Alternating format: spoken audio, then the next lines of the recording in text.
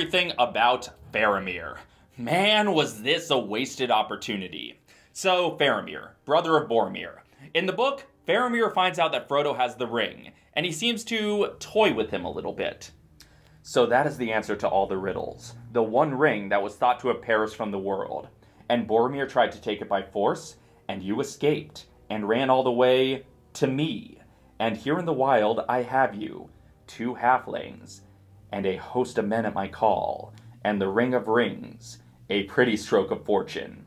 A chance for Faramir, captain of Gondor, to show his quality. Ha! And then, he doesn't take the ring. Not if he found it on the highway would he take it. Faramir recognizes Boromir's flaw and avoids repeating his mistake.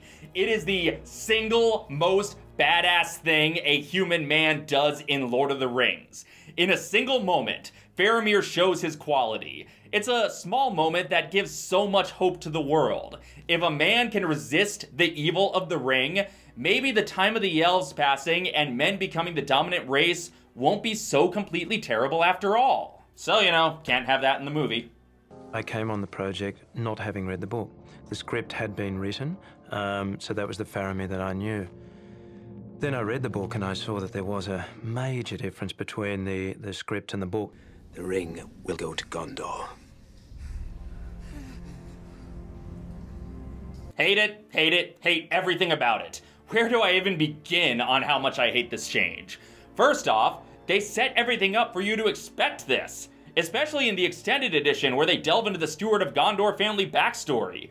Everything is building to the moment where Faramir is given this opportunity, and everything is telling you that if he had the ring, he would take it like Boromir tried to. So what a perfect, memorable piece of filmmaking it would be to subvert that expectation to give him a moment of strength instead. So it's wild that the movie treats this like it is a subversion, with Sam reacting with surprise to Faramir's decision, but it's only a subversion to people who have read the book, who by and large are not going to be happy about this change. For people who are coming in blind to the movie, they're expecting the big guy to take the ring from Frodo, and then they got what they expected. No subversion happening, just spending several minutes hinting that something's gonna happen, and then that thing happens. Weirdly diminishes the ring's power if Faramir can so readily resist its lure. Mm. That was one of the strong thoughts we had. Okay, two things. First off, you didn't seem to have that concern when you wrote a brand new scene to give stupid sexy Aragorn the same challenge at the end of the movie.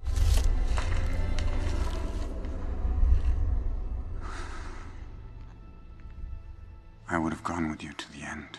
Oh look, he overcame Isildur's weakness. That means his arc is over now, right? Second off, if you're trying to show the power the ring has over people, I do not think you succeeded.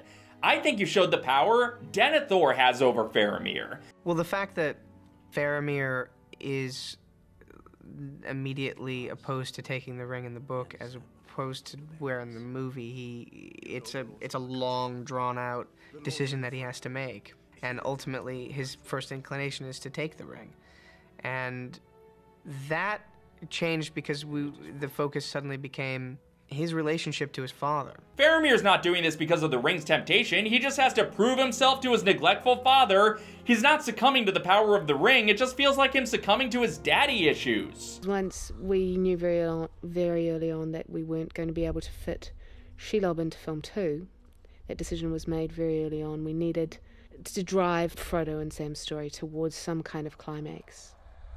For all those people that sort of have a problem with this, I think you just need to play out the story in your mind without this sequence for Frodo and Sam. Okay, but there still could have been a different climax to this through line, you know? Maybe Faramir's camp gets attacked and he has to fight alongside the hobbits. Maybe he leads them down another path and gets ambushed, so they have to go with Gollum again. Maybe somebody else in Faramir's company tries to take the ring, and Faramir has to rescue Frodo from the turncoat. There were alternate solutions. You didn't have to completely engage in full on character assassination. It's all wrong. By rights, we shouldn't even be here. Faramir's whole family gets some sketchy treatment in the movies. Boromir comes off best, but they still amp up the sinister moments in a way that sometimes makes him feel less like a man corrupted and more like a bad guy who's good at hiding it sometimes. And Denethor definitely takes a downgrade in dignity, but at least when it happens to him, it's hilarious.